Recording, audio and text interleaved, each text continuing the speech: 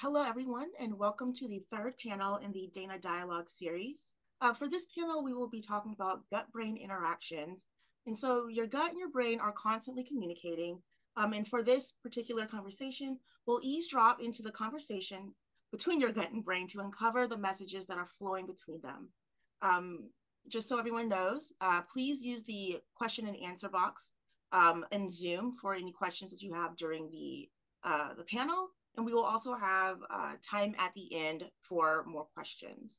Um, today we are joined uh, by our panelists, um, Monica Dus um, from the University of Michigan, uh, Valerie Darcey um, from the NIH, um, I'm so sorry, the National Institute of Diabetes and Digestive and Kidney Diseases at the NIH, um, and Christoph Thaiss from the University of Pennsylvania.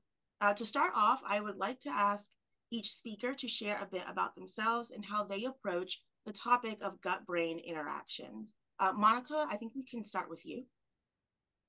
Hi, everybody. My name is Monica. I am an associate professor at the University of Michigan, and my lab studies the effects of nutrients uh, on the body and the brain. Um, I just have to do a disclosure. Um, this year, I'm actually only from the university to work for the government, but I'm here today speaking to you in my personal capacity. Um, so everything I said is uh, just uh, about me. Um, so I'm really interested in thinking about nutrients uh, and as a form of communication. Um, and so rather than thinking about just how the brain or the gut communicate. I'm particularly interested in understanding how the nutrient themselves are carrying different messages to different parts of the body and the outcomes and results of that communication. And I study that communication with my lab, both at the very broad level, looking at the effects on behavior, and at the very uh, specific down small like level molecular um, and cellular so I'll happy to tell you more about that later. Um, and then Valerie. Sure. Thanks. Thanks, Monica. Um, thanks, thanks, Tyler. I'm really excited to be here. Um, I am Valerie Darcey. I am a research fellow at, in the Laboratory of Biological Modeling at the National Institutes of Health, specifically the National Institute of Diabetes, Digestive, and Kidney Diseases. Um, my doctorate is in neuroscience, but I'm also a registered dietitian. And so when I combine those two aspects of my training, um, it kind of informs the bigger picture of my work, which is to identify nutritional factors that do or don't support brain chemistry and brain function that's linked with our behaviors. And the behaviors that I'm specifically interested in are um, our habits and impulses and our ability to control them. So um, to do this, I use a variety of neuroimaging tools in human participants, like magnetic resonance imaging and spectroscopy to look at brain structure, brain function, and some neurochemistry. And I also use positron emission tomography, where by using a small amount of a labeled drug, we can look at brain chemistry and brain metabolism before and after changing a diet, for example. Um, so far, my work has shown that nutritional factors uh, related to the diet, like the quality and quantity of dietary fats, and factors related to individual, like body mass index, which is kind of roughly proportional to um, somebody's proportion of body fat. They're related to brain function and brain chemistry behind our behaviors. So just really briefly, I'll say that in healthy adolescents, I looked at how the amount of a nutrient that's essential to our diets, omega-3 fatty acids, um, which comes mostly from cold water seafood sources. Um, the content of this fatty acid, both in the adolescent diet and in their blood, was linked to the structure and function of a part of the brain that controls their impulses, the prefrontal cortex, as well as their ability to control their impulses in real life. And then in adults, we found that individuals who have higher body mass index may have greater amounts of a neurotransmitter called dopamine at rest in a part of the brain that contributes to their habits. And that weight loss diets, specifically one that reduces calories just by cutting fat, um, appears to exacerbate this and also shift food choices in a way that um, promotes intake of food that's higher in sugar and fat. But as a dietitian, I'm also thinking about gut brain interactions in terms of their potential for clinical utility in behavioral medicine. How can we manipulate brain chemistry um, for clinical conditions where patients really need to sustain a behavioral change to improve their health? Yes, making long term weight management easier, of course, but also to support behavioral change needed for lifelong recovery from conditions like drug and alcohol misuse. And Christoph, we'll end with you. Thanks, Tyler. I really appreciate the chance to be here today. And uh, my my research group at the University of Pennsylvania is very interested in gut-brain interactions from the perspective of the microbiome, which is the the community of microorganisms that lives in the GI tract. And I was actually originally trained as an immunologist um, at a time when immunology was uh, very appealing to me because of its very strong potential for uh, causal um, interventions, causal experiments. I very consciously chose this, uh, you know, as, a, as an undergraduate, I was, I was very interested in exploring immunology because it felt very applicable to many different diseases, but also experimentally, it felt very attractable at the time. And one of the biggest questions at the time in immunology was how the body can distinguish between pathogenic bacteria and commensal bacteria because there are so many bacteria that live inside and on the human body um, essentially from the moment we're born um, and throughout our entire lives, while at the same time the immune system needs to retain the ability to fight infections. So a very big unresolved question at the time, and to some extent still unresolved today, was how the immune system makes this distinction. And this question got me very interested in studying the microbiome and I ended up studying the microbiome not only in its in the context of its immune functions, but also in the context of its metabolic functions. And when I started my own lab at the University of Pennsylvania a couple of years ago, we realized that many of the microbiome functions, or the gastrointestinal functions in general, are um, mediated by the nervous system, both the peripheral and the central nervous system. So that's how we got interested in understanding what the signals are by which the microbiome, the molecules that the microbiome produces, and the GI tract in general signal to the nervous system and how the nervous system sort of integrates um, signals from the GI tract into regulation of physiology, regulation of uh, immune system function, and regulation of metabolism in general. So that's how I, I got to studying uh, what uh, what my lab studies today, and I'm I'm uh, very excited about this discussion today. Thank you all. Um, I think uh, for this first question, I would like to ask um, Monica, um, if you could tell us a little bit more about um, kind of how you think of uh, the gut brain interactions more of as a sensory system to decode food messages. Yeah, I'd love to. So uh, I mentioned in my introduction that I really, um, I really think of this sensing of nutrients as a form of communication.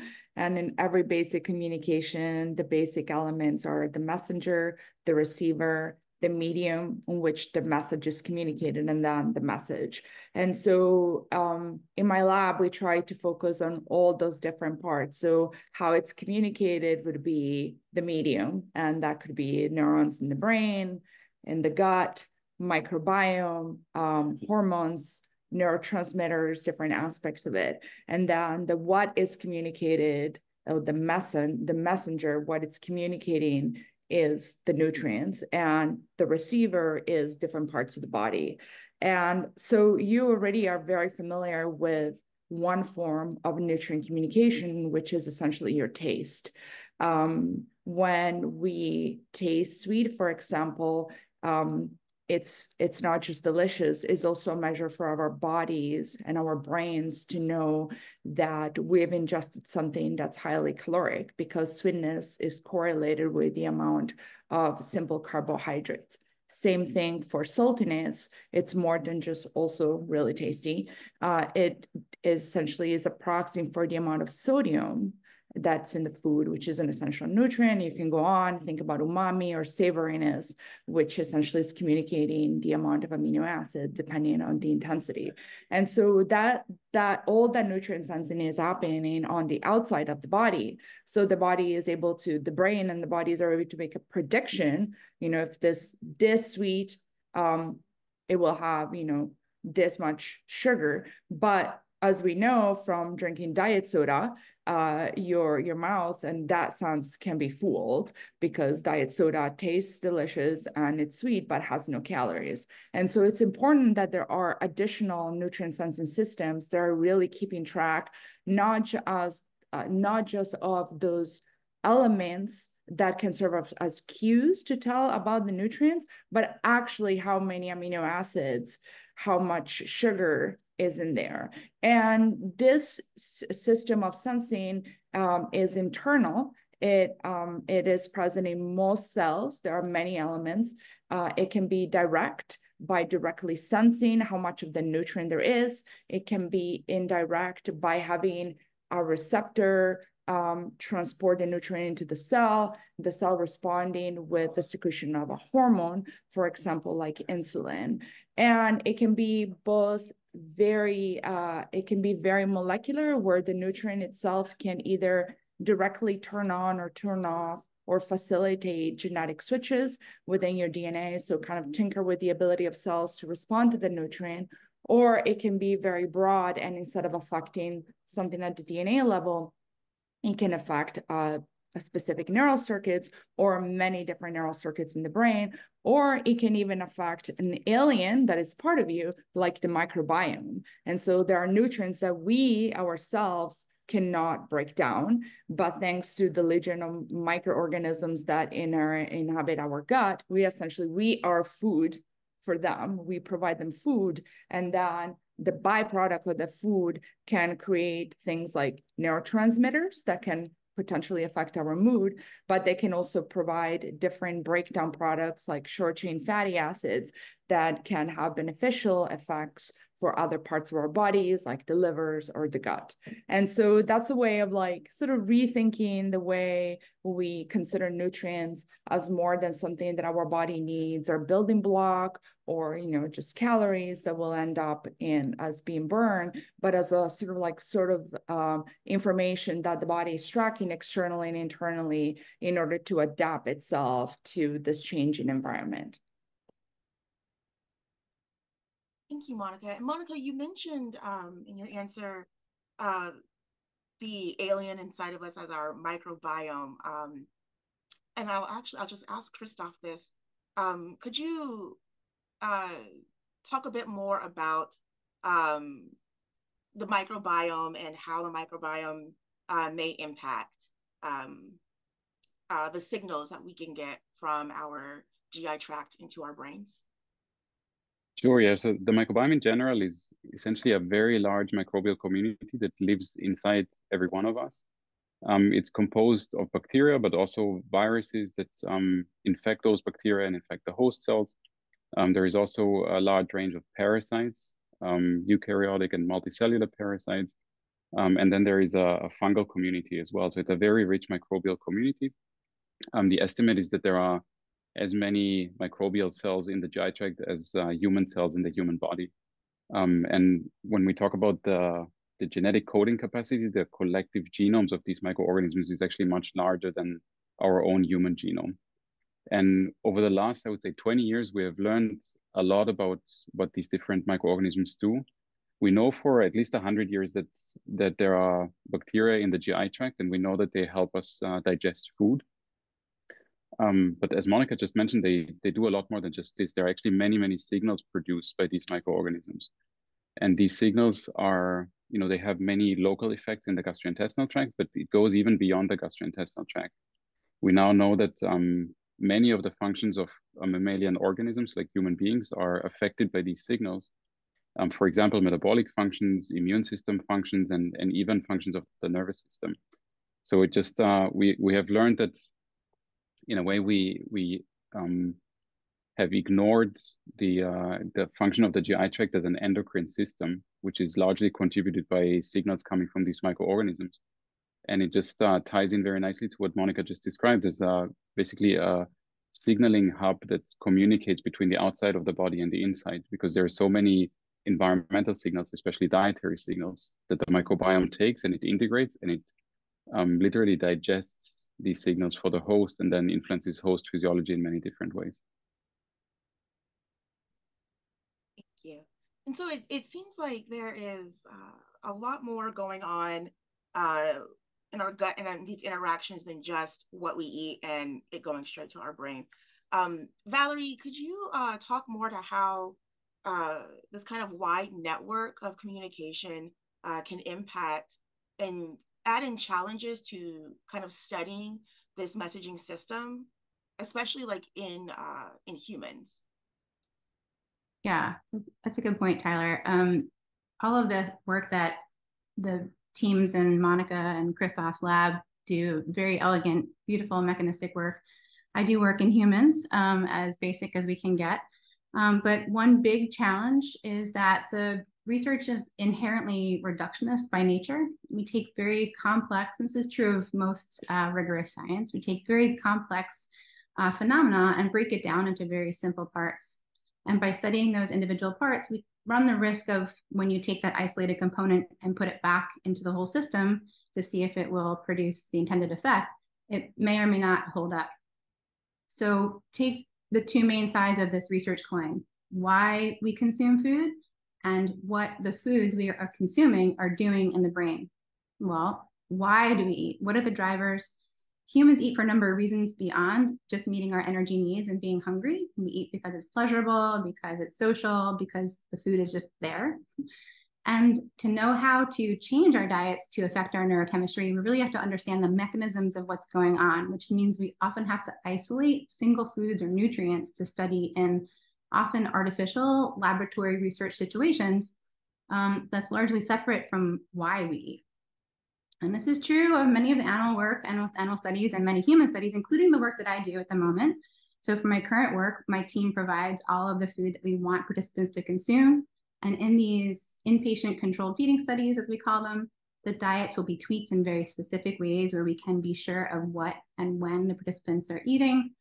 Um, and that the only thing changing in each diet condition is the component that we're interested in. The benefit of doing this work in humans is that it's directly relevant to, to us as humans, but to under, get to understand the specific pathways and mechanisms, we really need to look to complementary animal work to take advantage of its precision um, like the elegant work being done um, in my colleagues' labs here. But even when we isolate a single component, though, I wanted to mention there really can be challenges in, in um, study designs and interpretation of the results sometimes. So think about the challenges in isolating a specific, uh, an effect of a specific nutrient, because at least in nutrition research, when you change the proportion of factor A in the diet, oftentimes the proportion of another component, factor B, also changes too. And then without rigorous controls, if the study isn't well designed, is it really the manipulation in factor A uh, or the commensurate change in factor B that has caused your effect? And unlike testing pharmaceuticals, for instance, um, where levels of a drug in someone's system are at zero before they start taking the drug, humans, animals, we eat every day. And so our background exposure to whatever nutrient we're trying to manipulate um, is already there. So considering somebody's background nutritional status um, as a starting point can be a really important consideration and interpreting results um, about why they came out the way they did. So just because we're reducing uh, to study a specific aspect of the diet, um, we should also ultimately keep in mind that this is all really cyclic in nature because what we can eat or what we uh, what we eat can influence the why of eating. Um, our susceptibility, for instance, to eating in response to a driver of food intake, like cues in our environment. So those are the big challenges that I see, um, especially with respect to human nutrition research and brain imaging research. And um, you mentioned taking the uh, person's uh, nutritional uh, status um, in a, into account when doing these um, studies. Are there also ways to take in different um, kind of neurological statuses, state statuses? So like um, especially like uh, like neurodivergent patients uh, and uh, like maybe people who have lower or more like neurotransmitter levels than uh, standard? Yeah, that, that's a great question. So um, maybe one day in the future we'll be able to have a you know neurochemical profile at screening when we are trying to enroll people into a study to test the outcome of uh, or to test the effect of a particular diet on neurochemistry. But at this point, we basically uh, at our screening visits will ask about somebody's neurological and also psychiatric history, and it's by self-report at this time. Um, it will um, and unfortunately, the way our studies are designed, in order to see, um, to make sure the effect that we're uh, trying to observe is due to um, the diet manipulation of interest, we oftentimes try to recruit as um, homogeneous a sample as possible, like make people as uh, uh, similar as possible so that we can see a signal from the diet manipulation that we're trying to trying to put in. Yeah. Um, oh, sorry. Um, I think we can. I want to change focus a little bit. Um, on uh, onto some of these um, external and internal um, factors that could be. What am I trying to say? What am I saying? That could be um, looked at uh, through these uh, gut-brain interactions. Um, and so, Christoph, I would like to ask um, um, when looking at sort of gut brain interactions and also like the microbiome and looking at how they can impact um, the brain and how it is um, sort of cl- classified. Um, how can sort of these uh, gut brain interactions uh, impact sort of these neurocognitive or uh, behavioral or degenerative um, uh, kind of brain afflictions? And this is actually a question I think that um, all of our panelists could uh, answer. Yeah, so I'll, I'll try to go first. Um, I'll just make one one general remark, um, which which is very relevant um, when it comes to your question of how we compare external and internal factors that are being sensed, um, because we we very generally distinguish between exteroception and interoception as two major principles, with, with exteroception being everything that our body senses in the environment, and interoception everything that our body senses within the body, essentially. And and uh, exteroception has been studied for much longer. Um, our our level of knowledge there is much much deeper. We we know um, really well what goes on chemically and molecularly when we're talking about the the you know the common exteroceptive senses for example our, our, our ability to taste things our ability to hear things our ability to see things um, our sense of touch and so on there we, we have a very good understanding of uh, what happens by physically and molecularly for example when when uh, our fingers touch something or when there is a um, you know a, a, piece of food that touches our tongue or when we hear sound um, and usually generally this works is that there is a, a two component system for the most part there is a neuronal cell, and just above the neuronal cell is a non-neuronal cell, usually a type of epithelial cell. And the epithelial cell does the sensing. For example, in the skin, there are touch sensitive cells, and they will then communicate to the neuron. The same is true in the retina in the eye, and the same is true um, in the tongue, and the same is true in the ear.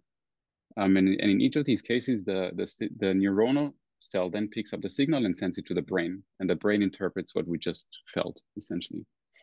Now, when it comes to interoception, um, we don't know how many different senses there are. Um, we don't know how many variables are being measured in our bodies all the time. We don't know, um, you know, how, if we can classify this um, in the same way as we currently do for the exterocept uh, exteroceptive system. We do know that there are some commonalities. For example, this theme of a neuronal cell just being placed below an epithelial cell is, is definitely true in the gastrointestinal tract. There are many examples of epithelial cells releasing signals to neurons, and these neurons then transporting the signal to the brain, and the brain then interprets um, the signal accordingly. One very big distinction that we know of is that all of our exteroceptive senses are conscious, right? For example, if I if I uh, make a sound, it's very hard for everybody not to focus on the sound. In fact, it's almost impossible not to consciously perceive the sound. And at the same time, for our internal senses, um, they are largely non-conscious. Um, we can, just to go back to an example that uh, that Monica mentioned earlier, if we're trying to count the the glucose molecules or the or other um, nutrients in our in our GI tract, and we focus very hard, we're, we're not able to do this. Where it basically invades our uh, our conscious perception. We even if we focus extremely hard, there's no way we can we can gain um, conscious access to these senses. So for a long time, it was thought that this is a, a general distinction between exteroceptive senses and, and interoceptive senses. But it's not entirely true because there are certainly internal sensations that are very conscious. For example, when our bladder is full, this is something we we feel very strongly, or or when we're nauseous, we feel it very strongly when when our GI tract gets uh, distended because we uh, we ate too much. This is extremely conscious. So so the the more updated version to how we think about this currently is that um, there are two main uh, types of neurons that mediate this uh, interoceptive sensing. Um, one of these neurons is the vagus nerve, all the neurons that belong to the vagus nerve. The vagus nerve innervates many of the tissues in the in the body, including the gastrointestinal tract, but also many others. And signals coming through the vagus nerve are largely um, not conscious. But there is a second system, which are the sensory neurons that run along the spinal cord. And these also innervate many of the different tissues in the body, including the gastrointestinal tract. And they also report signals to the to the brain. Um, and according to a lot of recent work, including from uh, from the lab of Ivan de Araujo, we think that uh, these spinal afferents are are more accessible to consciousness. Probably there is not a, a very clear-cut distinction, but I think largely we can say that these uh, vagal and spinal systems make up the interoceptive system that we have in our body. And certainly the vagal sensations are um, not accessible to conscious perception. In fact, it's actually pretty interesting. There are a few conditions where uh, vagus nerve stimulation is, is applied in humans. And people with vagus nerve stimulation, they, they often report sort of a general non-localized change in their feelings or in their mood and it's very hard for them to to know exactly where it comes from, which I think is because the the vagus nerve doesn't give us a sense of location and and doesn't um, immediately access the conscious perception, but it sort of generally changes our um, our interpretation of these feelings. Um, so that, that, that's just uh, as a general background of, of exteroceptive and interoceptive systems. But the reason why I bring it up is because, um, and this also goes back to to uh, points that both Valerie and Monica raised earlier. When we're eating something, basically there is a cascade of sensory events that the that the food item triggers that can be interpreted as both exteroceptive and interoceptive. Because for example, when we when we have a piece of food in our hand, first we smell it, right? This is clearly exteroceptive. And this is in, in a way, this is a, a quality control mechanism because if it smells bad, we will not go ahead and, and eat a piece of food. And then when we have it in our mouth, so if it smells good or it, or it doesn't smell, um, and we, we proceed with ingestion, then we have it in our mouth. And then there is uh, basically another exteroceptive sense, which is the, the sense of taste, which, uh, as, as Monica mentioned earlier, it tells us about the qualities of the food. And again, if it doesn't taste good, we usually spit it out and we don't go ahead and swallow it. So there's basically a second layer of exteroceptive control.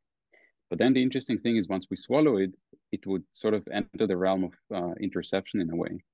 And from then on, it's much less conscious, um, but we still have all these sensory events, right? There is still um, intestinal epithelial cells that uh, sense nutrients coming from the food. Um, and and you know there are there are many specialized sensory cells in the gastrointestinal tract that will then access the different uh, properties of the food and again reported to neurons, um, for example, of the vagus nerve that will then send a signal to the brain. So in a way, there is so food basically um, passes along the entire gradient of exteroceptive and interoceptive senses. And I think what's very important is that some of these um, qualities of food are extremely conscious. Like we know immediately if uh, food smells bad or if it smells good, and we know immediately how it tastes to us. But I think um, the, the, what what uh, plays a very big role in our decision whether to eat more of a specific food is actually not conscious because it's transmitted to the brain through the vagus nerve and some of these uh, other interoceptive senses. And they molecularly they might function very similarly. They they um, evaluate specific uh, nutrients in the food. They evaluate the caloric content and many other features of the food, but they they influence um, our decision making and our eating behavior through a completely different uh, neuronal perceptive system. And I think that's what what's also very interesting about Valerie's work is to try and understand where these decisions come from and and how they influence brain activity and brain function in ways that are very different compared to what we normally perceive as the common um, sensory abilities of the human body.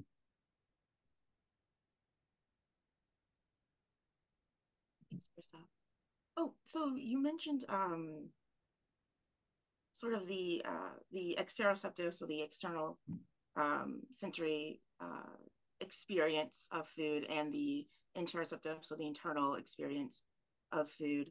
Um, from that, I actually have a question for uh, uh, Valerie and Monica on um, sort of how their work works within that um, extero and interoceptive um, field.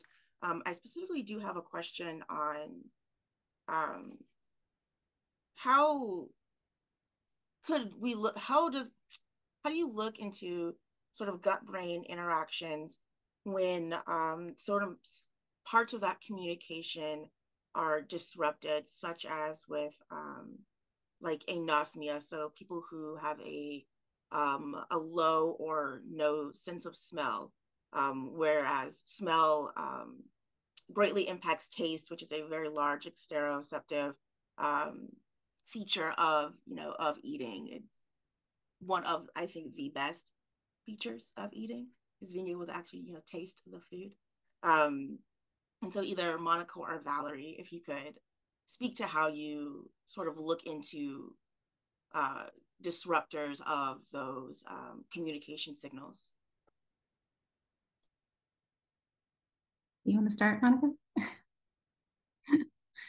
um, well, I don't, I don't, I can't speak to the um, anosmia uh, feature and how that might be um, how that might influence um, brain neurochemistry or response to food manipulation. Um, but one thing that really excites me going forward is now the burgeoning interest in how um, modernization of our food supply um, in terms of uh, the levels of processing in the food, specifically um, manipulating food in a way that uh, makes it ultra processed by adding uh, certain components that we can't necessarily add in our home kitchens.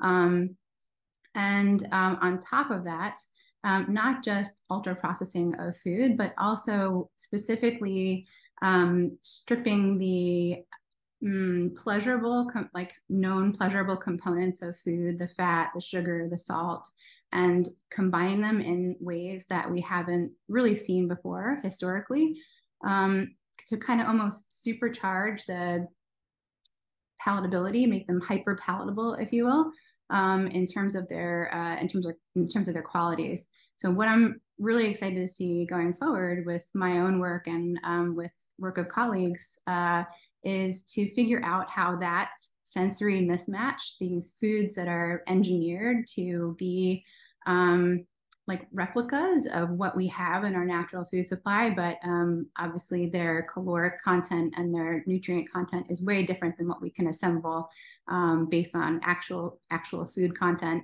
Um, how that will play out in terms of in my work neurochemistry and um, if it if it will look like the um, neurochemical signature of something that um, a substance that might drive repeated intake um, or not. So we'll we'll see. The evidence um, isn't there isn't there yet um, with respect to that. But um, yeah, I wonder if Monica has other things to add for that. Yeah, sort of building on that and thinking about uh, kind of go thinking about how essentially the food we eat affects us and our brains. So um, maybe I'll bring it back to a concrete example uh, that uh, my lab and other labs um, research, which is the effects of our diet on taste. So you know, we we are genetically programmed to be able to sense and also like and dislike some things over others. There's a reason why a cupcake is just better to eat than a plate of broccoli, um, especially if you know you um, you are a toddler and you haven't learned that broccoli broccoli are good for you. So we are genetically programmed to like some things over others, and then part of the program that was like kind of like chronicle in our gene through the evolutionary experiences of our predecessors um, is edited or shaped by uh, early life experiences with the diet and that's both our own life experiences and that of our um, uh, um, mothers who essentially so when the mother is carrying the fetus uh, what the mother is eating, it's also going into the fetus and the developing taste buds. And so there are um, studies that have shown that essentially some preference are formed uh, depending of what the mother was eating while the baby was developing or during breastfeeding. And there are also um, other really beautiful studies by uh, Julie Mennella and, and other labs that essentially have looked at the type of baby formula that uh, babies are eating and how that affects acceptance for different kinds of food like and food quality like sourness or sweetness and um, uh, Dean, DeChristina, Mariette, yeah, I I wrote a few uh, conversation articles about this, a really short read. So I'm happy to link them or you can link them. But so so we are born with some with uh, genetic predisposition. This genetic predisposition is shaped by our early life experience, by development. And then we get to adulthood where we get to decide what we eat. Um, and um, what we eat also shapes uh, those uh, those sensations. And so one thing that my lab has looked at and others is, for example, how dietary sweetness, how much sugar, um, and other labs have looked at how much sodium or saltiness is in the diet affects your ability um, organisms and including humans' ability to sense those taste qualities. So there are studies that have looked at decreasing the amount of sugar um, or salt in humans and have found that actually humans uh, then over time slowly develop an enhanced um, uh, sensation of those two qualities. Um, and there are studies now trying to look at whether higher sugar essentially desensitizes the taste system. And the studies of my lab and others in fruit flies and rats have shown that higher sugar actually does desensitize the taste system. Um, and again, I wrote a, a conversation article, it's a five minute read all about uh, how the taste system is shaped by what we eat. Now, of course, that might have an impact on what we eat, uh, in turn, because if say you your bliss point, your preferred levels of sweetness now might change, right? So that's one hypothesis. But another uh, another possibility, going back to what Valerie was saying, is that now uh, what what your prediction that from the mouth the external system that christoph was talking about the internal system actually how many nutrients are there is mismatch right? Maybe you are now eating a cupcake and it doesn't feel as sweet because you eat cupcake all the time. And so your your mouth is telling your brain that you're eating something that's as sweet as a carrot. But you know, within a little bit of time when your body actually gets flooded with all the buttery sugarness, it's like your brain was like, oh my God, this is a cupcake. It's a carrot cake. It's not a a carrot. And so that has a really big impact on your reward salience, on the, your reward system and the saliency you get. And so that mismatch, very much like Valerie was saying, then can throw off essentially our ability to predict how much we should eat, uh, which is already hard because like Christoph said, there are so many subconscious mechanisms that go on. And so part of the sensory system is kind of compromised. And so this is kind of a very specific example of how a really unique and important ability of the sensory system, which is the ability to tune itself to a wide range of concentration of a sensory nutrient actually might eventually work against you when you have a lot of the nutrients or might work in favor of you finding more of the nutrients because when you don't have enough then the intensity of the sensation is increased. So you're like oh now you can find you know five molecules of sugar. That's completely made up but you can find a much lower amount. And so it's like this trade-off um, between something that's really important for a neuron and a nervous system which is adaptability and you know the on the effects on the organism and that maybe valerie you have to say more in terms of like you know more uh, other types of food and what it means for like humans. Do we where do we want to go tyler should we no you can on that bit um i just just a yes i completely agree with uh, everything monica and christoph have said so far. Um and on top of uh, that you know the the preference change um, based on uh, changing somebody's sensitivity to sweet foods um, and the desire to get more and more of those foods, those foods necessarily uh, oftentimes don't have the nutritional composition to support our optimal health.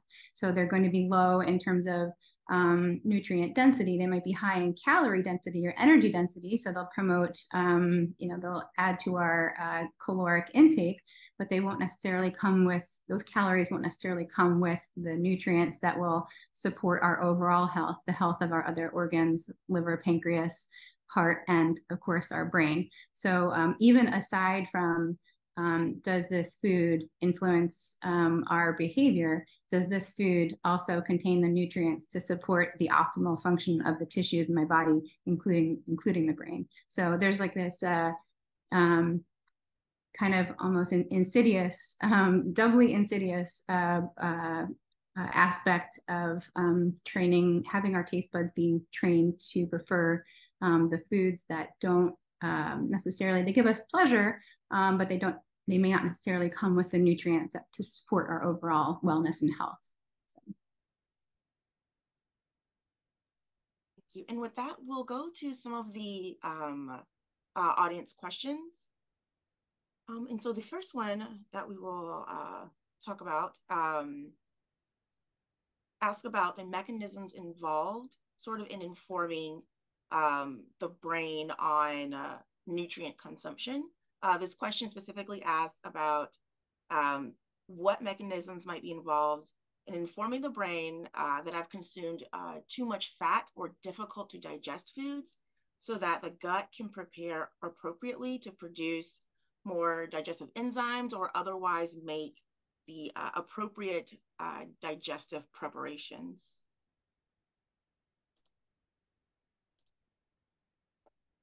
Well, I mean, um, when fat is sensed in the mouth and in the gut, um, there are peripheral organs, um, a chain of events that eventually results in bile uh, production to help facilitate the absorption of, of the fat at the, you know, in the periphery. And um, I know that fat is, as a, as a nutrient, um, is sensed via the vagus nerve, as Christoph was, was mentioning, the beautiful mechanistic animal work that's been done um, in uh, Dr. de Araujo's lab. Um, but I wonder also if uh, there's maybe some microbiome uh, responses to the amount of fat. Um, the microbiome produces short chain fatty acids, but do they respond also to the maybe amount or quality of dietary fat coming in? Um, I don't I don't know the answer to that, but I think we have an expert uh, on the panel that might know the answer. Yeah, I want to uh, to highlight one very important cell type in this context, which is uh, a type of intestinal epithelial cell called enteroendocrine cell. And these enteroendocrine cells, they essentially they populate the small intestine and the large intestine, and they're relatively rare compared compared to other cell types in the gut, but they're extremely important in their ability to perceive specific items from food, for example, uh, dietary fat.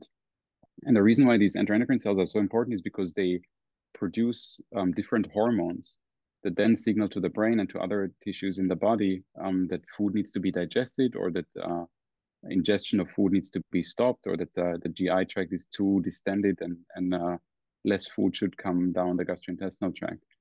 And these these hormones, some of these hormones are actually pretty famous by now. They're called uh, GLP-1, for example, um, and CCK, which stands for cholecystokinin. And the reason why they're so famous is because we understand these systems so well now that we can target them with drugs. Um, for example, GLP-1, um, uh, the, the GLP-1 system has given rise to some of the most commonly used weight loss drugs now. Um, for example, uh, um, semaglutide, which is basically a GLP-1 receptor agonist. So it, it tries to mimic the activity of this GLP-1. And so, in, you know, at, at the first impression is that GLP-1 is basically a satiety hormone, which tells our body that we can stop eating. So if we give semaglutide or some of these other drugs, then it uh, it essentially mimics the feeling of being full, and that's why we're less hungry. We eat less and we lose weight over time. But at the same time, GLP-1 also indicates that there are problems with digesting food and that we need to stop eating for other reasons. And that's why um, either because we're too full or because there are other problems with digestion. And that's why some of these GLP-1 drugs, they have side effects. And in some people, they cause nausea, they cause uh, vomiting in extreme cases, um, because it's essentially the, the physiological gradient of what GLP-1 does of uh, telling us to stop eating to telling us uh, now there is an emergency and we really need to stop eating, which is usually achieved by, by adverse feelings like nausea and vomiting. Um, but this, I think the, the reason why this is a, is a really good answer is because some of these systems, if we understand them well from a basic science perspective, they can tell us how we can manage things like obesity in the clinic. And there are many more such mechanisms to be discovered. GLP-1 is only one example of these hormones that are released by enteroendocrine cells in response to food. And, and there are many, many others that remain to be discovered. Christoph. Um, and we have a question in our chat that I think um, may stem off of uh, sort of this uh, conversation about um, uh, the signaling for uh, not eating or signaling of maybe um, satiety to the point of uh, pain or discomfort. Um, and the question asks um, about the link between our gut and um, migraines, and uh, if there may be a causal link towards um, what we're eating, or at least how our gut is um, uh, interacting with the rest of our nervous systems and um, feeling the impacts of those in our brains manifested as a migraine.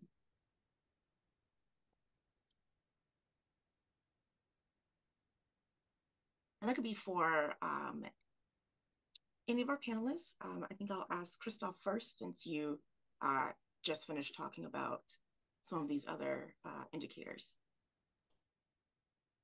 Yes, I, I haven't um, encountered any example in the literature where uh, the perception of food or, or uh, um, food-induced discomfort directly leads to migraine.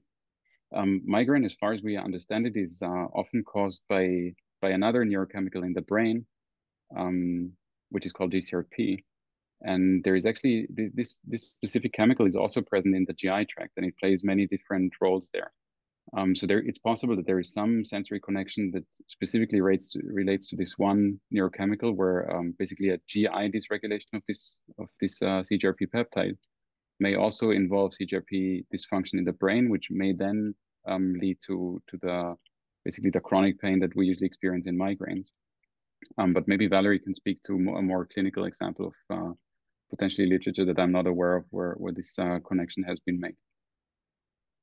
Yeah, I, am actually um, I'm not an expert in in migraine, uh, unfortunately, so I can't um, expand much more beyond that. Um, but there, I mean, at a at a basic level, um, when even just uh, whether there's food in the gut or not, so having been fed or fasting um, can influence um, the blood flow to the brain and the, the vasodilation and vasoconstriction of vessels in the, in the brain, which can influence pressure, uh, the sensation of pressure in the brain. So um, there might be something to uh, the the connection there between um, uh, you know time since last meal, ha- how how fasted somebody is and um, the degree to which they can per- they perceive uh, a migraine. But um, yeah, I I'd have to look more into that to learn more. I wonder if the um, um, listener was asking about like head migraines or gut migraines. Um, and again, I don't know much about it, but we have a second brain in our gut. Uh, there are millions of neural cells, like we've been talking about for the last 20 minutes or so, that are in our gut. And our gut also produces, uh, I mean, I think most people are familiar with uh, serotonin. It's a neurotransmitter. And um, serotonin is also produced in the gut. Actually, um, most, but not by neurons, but most serotonin in our bodies actually is from the gut. So you might think about, uh, you know, there are also other neurotransmitters that make us get allergies, and maybe Christoph, you can talk about some of the gut sensitivities and um, the uh, the barrier between uh, the the gut and uh, and and and the outside and what happens like if it become perforated um, or if there's leakiness and how that can create conditions that might uh, predispose people to inflammation, allergies. I don't know much about it, but I know that there's a lot of research. But one thing to keep in mind is that, yeah, there is a second brain. It's in our gut, and uh, you know, sensitivities to that second brain can trigger essentially a gut migraine, but it's not your head. It's just you feel sick to your belly. Yeah, I'll make one very brief remark about food allergies because you brought it up, um, which I think is extremely interesting in the context of this entire discussion because food allergies are essentially um, manifestations of when this this food quality control system that we talked about earlier, when this breaks down, um, and when this basically becomes dysfunctional in the sense that we respond to to food components as if they were um, pathogenic microbes, right? We develop an immune response against them. It's actually not entirely clear why this happens and why it happens in some people and not in others. Um, but we do know that it's often associated with essentially the misrecognition of food elements, um, which uh, seems to be more prevalent in some foods like peanuts than other foods. So there's definitely something about the food that leads to this quality, but it's not entirely clear what the initial sensation event is that goes wrong. Um, very likely it involves um, either a concomitant viral infection or another microbial infection, or as you mentioned, uh, Monica, a, a, breach in the gastrointestinal barrier, which then leads to this basically immunological misrecognition of food um, by, by uh, an arm of the immune system that we call type 2 immunity, which is usually um, used for uh, um, expulsion reactions. For example, if we have a parasite in the gut and we try to get rid of it, then we use type 2 immunity to achieve this. Um, but in the context of food allergy, this arm of the immune system is engaged against food. And then we essentially have a very similar reaction as we would normally have to a pathogen, um, but we have it against food. And then this leads to all the manifestations of uh, this type 2 immune response in the gastrointestinal tract and in severe cases, even systemically. So I think understanding all these mechanisms that we talked about today in terms of food recognition and signaling to the brain um, will not only help us um, in the context of food preferences, um, obesity and diabetes and associated diseases, but it may actually help us in immunological diseases like, like allergy and asthma and other things as well. Thank you. And we are coming close to time. Um, I would like to end um, this section on for a one last question to all of our speakers on what is one thing you would like the audience to take away from this conversation? Um, and we will start with Valerie.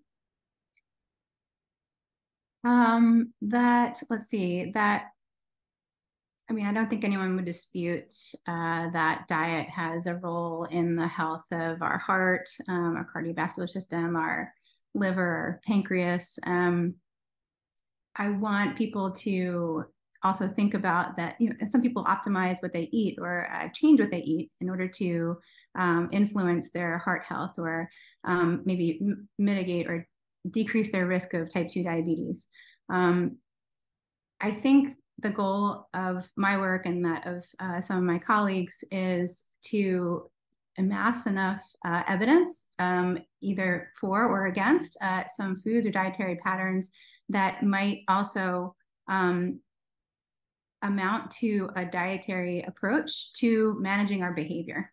And so that can be something in the future we can look forward to. And that um, all this to say, uh, we're coming up to the holidays. And while I, yes, as a dietitian, uh, will promote fruits and vegetables uh, until I'm blue in the face, I like to also remind people that, um, like I said in the beginning, we don't eat just because we're hungry. Um, I, we optimize physical health with diet, but not at the expense of, of mental health. Um, we have so social activities coming up where there'll be food involved. Um, you know, make make mindful choices about um, filling your plate with things that are going to promote your health. Yes, but don't. Um, we see the danger coming from restricting um, re- restricting intake of the the really tasty stuff. Um, then it just leads to uh, increased incentive salience, as we talked about earlier. We just want it more, and then it might become uh, an, an issue down the line. So um, optimize both physical and uh, and mental health, uh, especially with the holiday season ahead.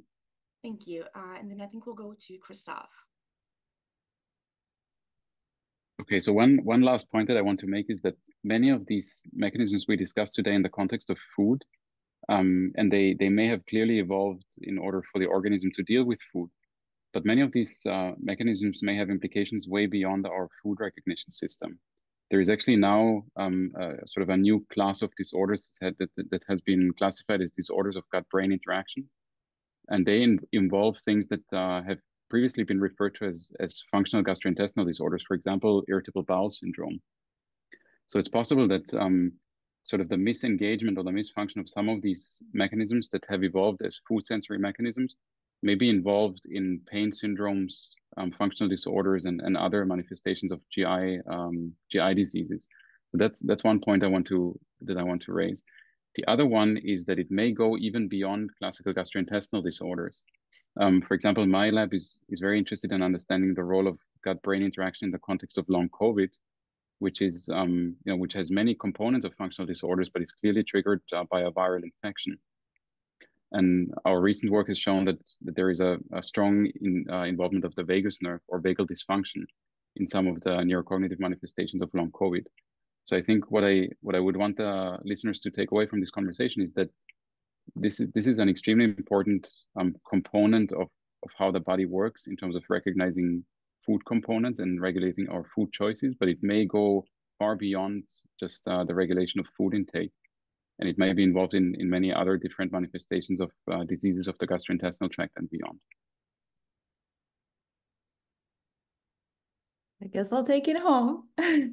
so I think um, what I would like people to take away is that eating is no piece of cake, entirely intended.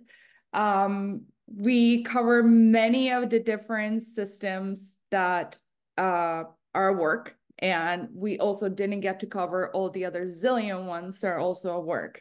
And so in many ways, it's uh, becomes an impossible task, not just to know what to do, but to have the bandwidth to know what to do. All of us are caregivers. We have we volunteer. We have jobs, and and so there, like like Valerie said, there's a lot more to eating than just substance. It's culture, it's friendship, it's it's spending time, you know, with your family, your tradition, your history, um, and um, and and in many ways we kind of already know um, the sort of we already know what we should be eating to try to extend our uh, well-being. And one part of that is try to minimize processed foods try to have vegetables uh, limit simple sugars. So things we know that are linked with a higher risk of uh, cardiovascular disease and uh, diabetes. Um, and i think so at the end since eating is so hard it it takes a lot of work to to think about what to eat but it's not something that you change from one day to the other. Very much like you don't go from your couch to a 5k you can go from you know eating without thinking or like to just like having a perfect diet if even such a thing exists. And so i would say be kind to yourself you know like train your sensory system train your brain pay attention to what you're eating as much as you can. And maybe one day um, you don't have much time and you'll have i don't know like popcorn for lunch and dinner like sometimes i have. It's delicious and you know it's in a bag. And some other times i have the bandwidth and the time to actually make really nutritious meals but it starts with like being kind and thinking about the range of possibilities and our leap experiences um, and with that, uh, I think we will end this discussion. Uh, thank you all for joining us as we touched on some aspects of the vast messaging network between how our guts and brains interact. Um, I will also reiterate the points uh, to be kind to yourself. Um, relationships with food are not um, easy, um, and they're not made they're not made easy often.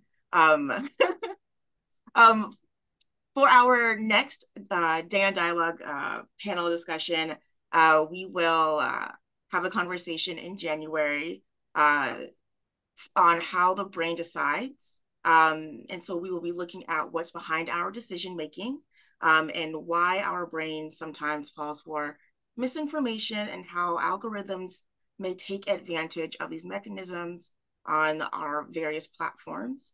Um, and so we will be learning about the neuroscience of decision making. Um, I think we have shared the uh, registration for that uh, in the chat. Um, and you will also all receive the registration link uh, of this uh, presentation. And with that, thank you, everybody.